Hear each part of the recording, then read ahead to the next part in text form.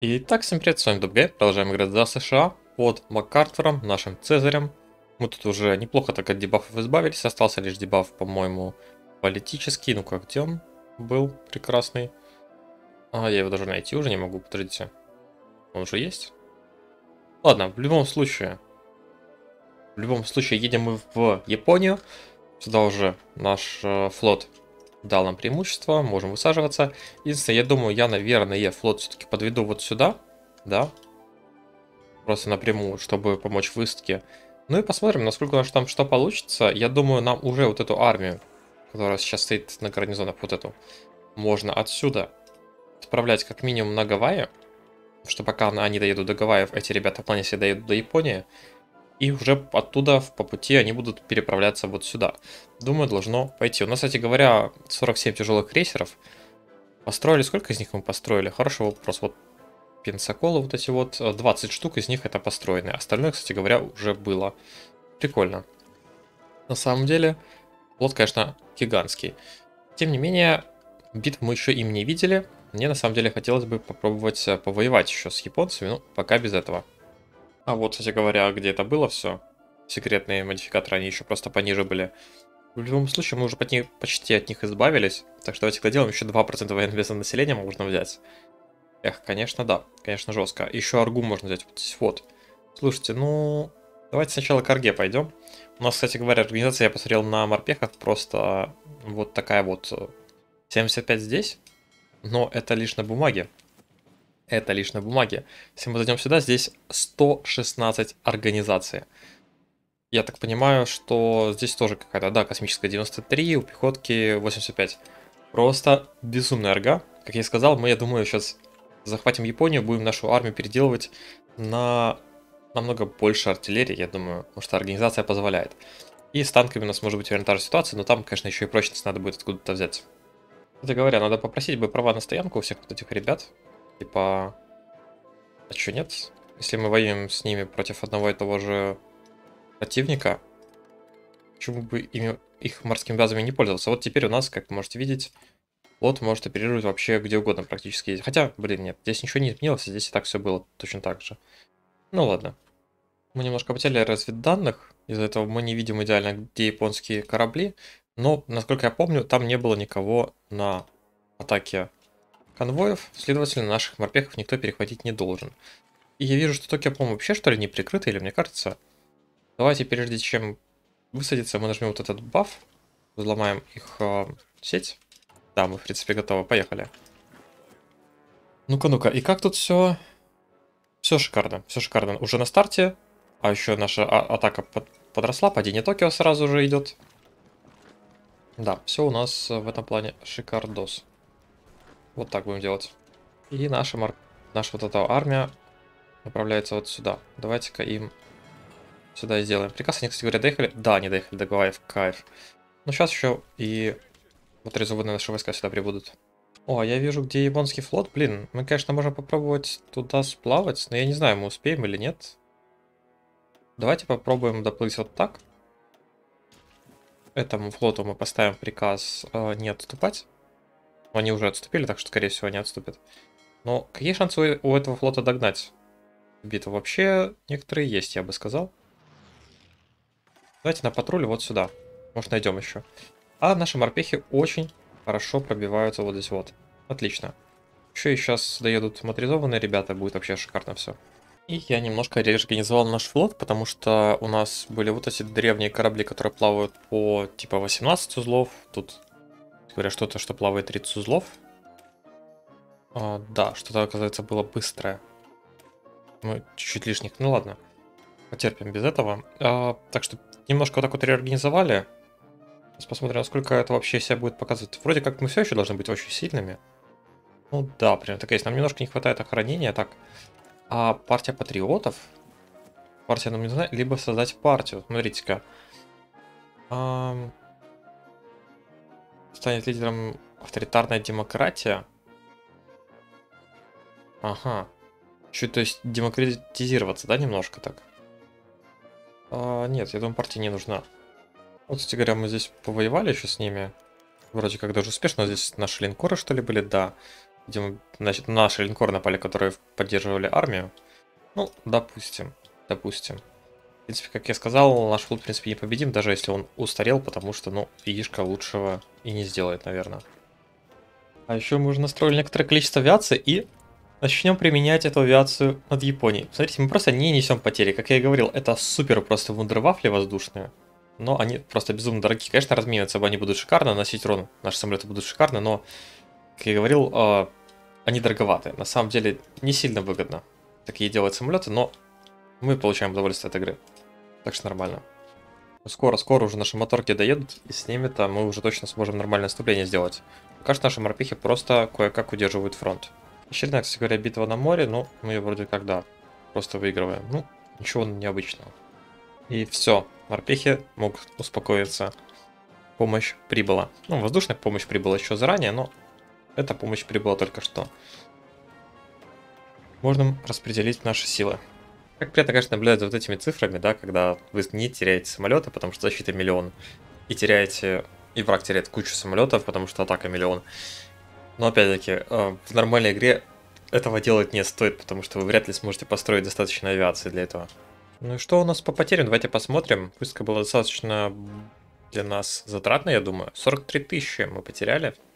44 считайте. Не очень приятно, но нанесли 360 тысяч урона. Думаю, авиация в этом как бы тоже была замешана. Кстати говоря, параллельно тоже еще битва проходит. А наш флот не хочет помогать в этой? Нет, не хочет. Ну ладно. Ну ладно, не хочет, так не хочет. А, так, смотрите-ка, Legion Members win elections. А, а Легион это кто такой? Патерналисты? Это тоже патерналисты. Um, допустим, наверное, я не знаю. Вроде как нормально. Ой, я тут не заметил, оказывается, 4 авианосца японских потопили. Ну и, в принципе, я так понимаю, весь их флот в этом моменте потопили. Бывает. Случайно не заметили. Японцы, кстати говоря, продолжают нас атаковать. Смотрите, просто как безумные. Ну, удачи вам с этим. Я решаю, кстати говоря, заранее пробиться к еще одной авиабазе. Пока что я не спешу атаковать. Мы хотим доразменяться в воздухе все-таки. У них еще есть какая-то авиация. Мы хотим добить полностью превосходство. Плюс, возможно, доктрину подкачать вместе с этим. И вот авиабаза еще у нас появляется. Тоже мы ее заряжаем самолетами. Как бы что нет. И после этого уже, думаю, чуть попозже нападем. У нас еще и планирование не все, как бы, да, куда спешить. У нас еще есть время. Ну и они истощаются тоже, нам это тогда на руку. 400 уже 40, ну, 30 тысяч потеряли японцы об нас. Это еще не предел. Но, кстати говоря, участие войны нам не так много дали за это. Но я думаю, еще получим сверху, когда все капнем. А что в Европе? Давайте посмотрим, что здесь происходит. А фронт стоит на западном фронте, как говорится, без перемен реально ничего не происходит на Западе. Здесь в Испании все еще гражданка тоже во идет, воюет. Османы все еще воюют с этими ребятами. То есть все фронты, в принципе, стоят. В Индии тоже фронт стоит, кстати говоря. Россия все так же ничего не делает. Как говорится, о, ничего не происходит. А мы возвращаемся в Японию. Говоря, наши тактикалы не могут бить по надводным целям, но могут бить по портам. Поэтому давайте добавим сюда цель порты. Кстати, у нас еще не хватает немножко снабжения и дождь. Давайте вот так вот поставим еще, чтобы эффективность была побольше. О, и мы закончили с этими фокусами практически. Американская стратократия. Как бы, да, что, нет еще одного военнообязанного населения? Господи, у нас его просто, смотрите, уже 7,5, 8,5. Сейчас будет э, 9,5. Там еще 3 и 3. Жесть. Я посмотрел, у нас штурмовая, нас, точнее, морская атака 1, так что ладно, забудем про вот это.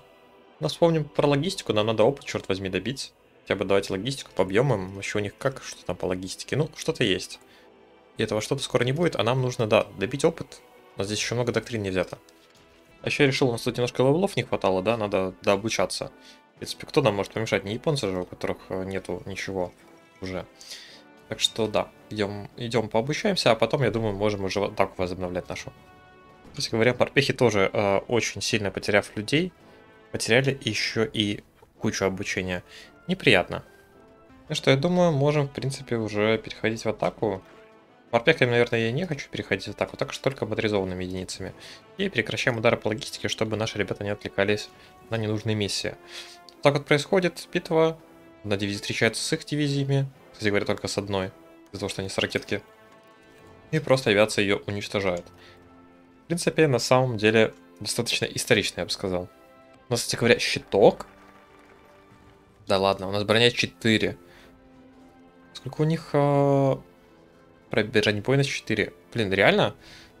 Это из одного механа, вот этого вот, у нас, который я добавил уже, у нас щиток появляется периодически. Забавно.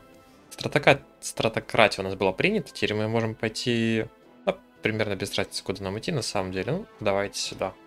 Еще 5 арги, господи. Ну и под авиацией, конечно, мы делаем чудеса. 815, 820 уже потерь, господи, просто тысячами, тысячами добавляются эти потери, у нас же, наверное, единицами. Авиация, конечно, да, как я сказал, делает реальные чудеса. Давайте только вот это вот проконтролим, потому что, как обычно, перед проливами у нас сломаются все фронты, ну ничего. Этих ребят мы уже начинаем обучать, типа, что, куда, куда ждать? Пускай уже это тренируется. Ну и мы уже берем Киото, и я чувствую... Слушайте, Гонконг взяли, ну... А кто взял Гонконг? Остазия, вау. Я думаю, уже ничего не поменяет. Японская армия. Все, уже, уже поражение Японии предрешено. Здесь какие-то ополчения еще не подняли, видимо, ивентами или что. Ну, Токио даже. Вот это в Токио, кстати говоря, не очень удобная для нас тема произошла. Давайте-ка с этим всем разберемся сейчас. Там причем прям реально эти DVD даже неплохие. Но я не думаю, что они нас могут остановить, честно говоря. Так что продолжаем наступление. А, Смотрите-ка, у нас поставлен здесь перк на плюс шансы на маневрирование и координации. Тем временем маневрирование и координации нашего адмирала. Ты, конечно, да, учиться не собираешься. Ну, ладно. О, еще один интересный баф. Минус 2 ТНП, приятно. Стабильность, поддержка войны плюс 5 в неделю. Господи, у нас эта поддержка войны просто бесконечная какая-то. Единственная проблема в том, что это базовое значение только прибавляется. То есть, если в теории нам накидают каких-то дебафов на поддержку войны, у нас все равно она может пойти в минус. Ну, то есть, она может уйти от 100%. Потому что вот это вот не перекроет э, сверху дебафы. Это только базовая, так сказать, только база. Но скорость строительства заводов плюс 20 военных, это нам надо. И 2 ТНП. Сейчас пойдет нереальное американское экономическое чудо. Бля, вот это нереальная сейчас тема. Вот этот остров, как вы думаете, кому, какому авиационному региону принадлежит? Вот этому, вот этому, вот этому, может быть. А хуй там плавал? Вот этому. Жесть. Хотя он полностью находится, ну, можно сказать, вот здесь. И, блин, я реально японцев чуть ли не до последней провинции добиваю. У них поддержка войны, да не такая большая, честно говоря. Странно. Кстати говоря, флот опять, они где-то... Откуда-то у них корабли еще остаются, они где-то их, не знаю, прячут постоянно. Я нахожу снова и снова новые. Но должны они закончиться в один момент, я чувствую. И мы реально захватили всю Японскую империю. Они еще не капнули. Я так понимаю, да, вот эти территории тоже национальные, поэтому была такая проблема. Ну что ж. А, ладно. Тогда мы планируем выставки вот сюда. Что я могу еще сказать?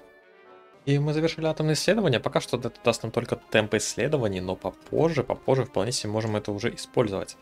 И что, можно вот эти пока что бафы тоже все взять на промку? Что нам еще надо? Авиация. Блин, авиацию можно было зарашить. Блин, 400 дней, целый год ячейка.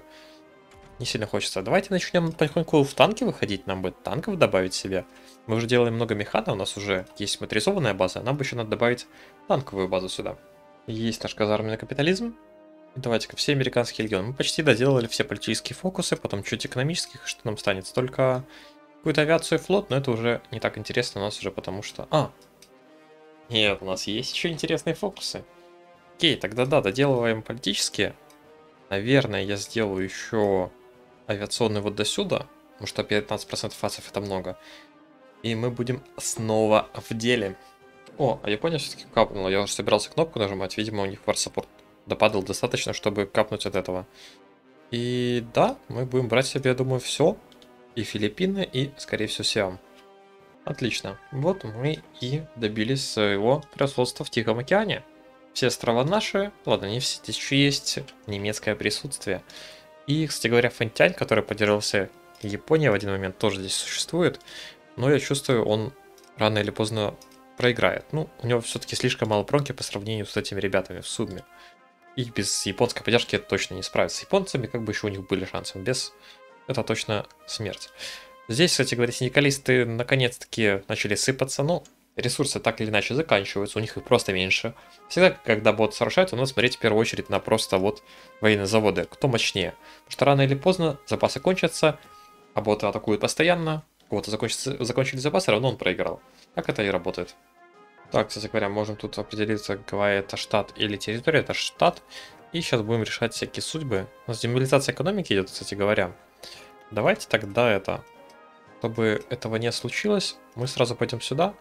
Сразу пойдем побыстрее, я думаю, вот сюда. Ну и наделали здесь Мариане, так сказать говоря, вопрос. А японцам... Да, японцам, кстати говоря, острова все были переданы. Когда мы создавали марионетку, там не было варианта оставить себе острова. Ну, ладно. Тем не менее. Тем не менее, моторизованные наши войска едут к Мексике, пехота стоит у границ Канады. Морпехов, я думаю, можно направить на каких-нибудь коммунистов в Южной Америке. И будем смотреть, куда мы пойдем в первую очередь. Кстати говоря, Германия-то воюет еще и с Антантой каким-то образом.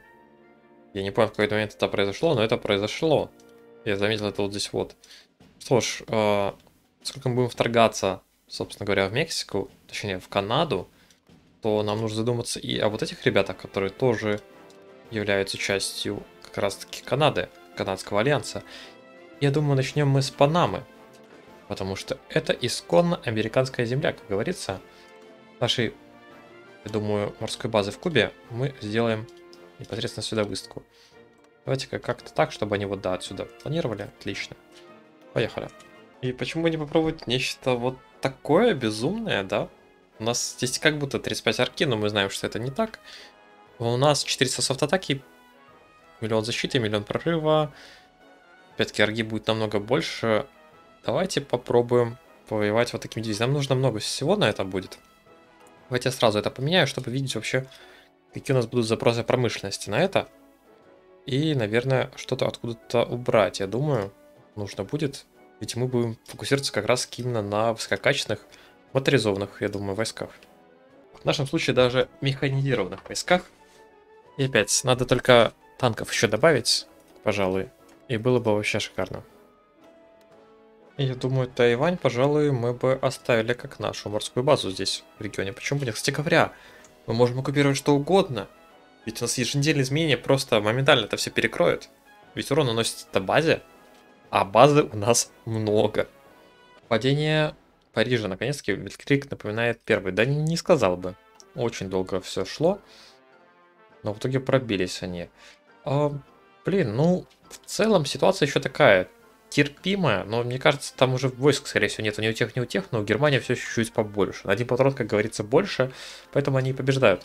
Но Германия еще должна быть воевать с Канадой, так что ну, ситуация для них не самая лучшая. О, у нас еще...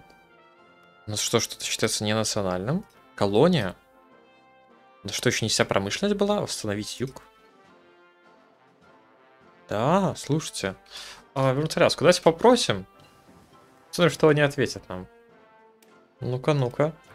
Антанта, что ты нам ответишь? Аляска... А, возвращаю все-таки Аляску нам.